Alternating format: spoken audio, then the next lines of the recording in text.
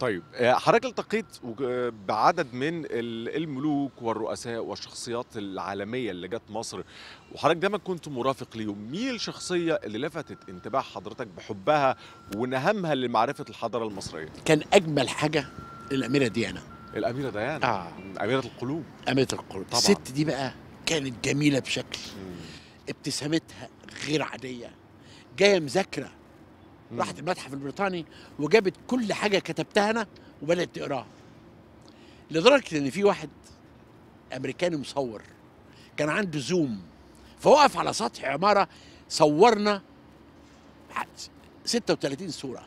تشوفهم تقول ده اتنين بيحبوا بعض. فالله يرحمه كان في صحفي عبقري. أنا بعتبره من أهم الصحفيين اسمه محمود صلاح. آه. محمود صلاح كان ماسك الحوادث في أخبار اليوم مم. وكان رئيس تحرير آخر ساعة. فشاف الصور قام واخدها وقام عامل موضوع عنوانه إيه؟ مصري آخر غير دودي احب ديانه